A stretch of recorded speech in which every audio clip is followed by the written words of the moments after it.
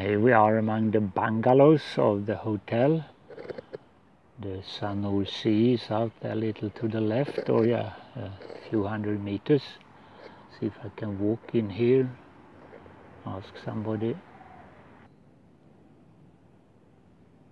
Yeah, red. Let's walk up close and see how the flowers look.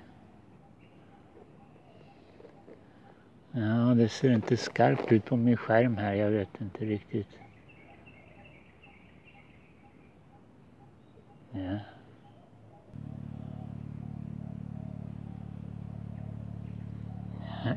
Det, det är inte blommande träd men det är väl mycket vackert ändå. Så, så har vi lite skärt i bakgrunden där. Här ser ni lite hur bungalows ser ut här. Uh, I don't know, det kostar väl en 100-200 dollar sådär. Kapockträdet som man gör, kan göra kapockflytvästar av ser ut någonting sånt här, röda blommor. Och det ger också honung som man som har då heter kapockhonung. Ja, det här trädet har blommor bara här ner till. Vi går närmare och tittar, det är långa fina. Ja, fantastiskt. Svänger i vinden här från ryggen från havet.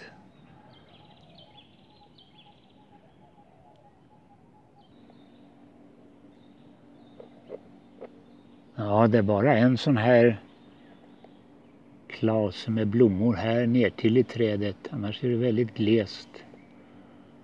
Jag vet inte om de har gjort någon ympning här kanske av det trädet som det är. Man kan ju ympa in andra träd ibland också. Ja, fantastiskt. Ja, det här är kanske bo, no, Kambodja. Jag höll på att säga Bougainvilla. Vi har inte sett någon bra Bougainvilla här.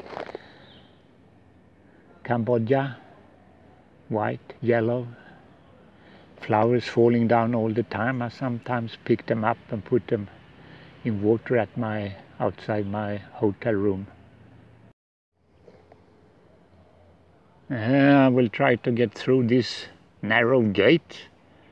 I'm heading for the pink tree on the right there. Let's see if I can get up close. Yes, look at this. Nature doesn't get much better. We have a bird singing here also. So these are little bungalows here. I think they are, they are pretty small ones.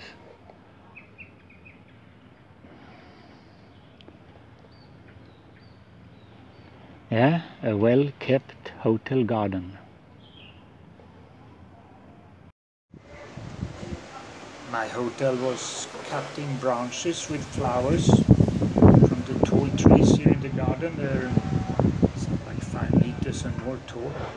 I picked up some flowers and put them in this in a glass with water. See how long it lasts. I've been picking just flowers and been putting in water before, but this is.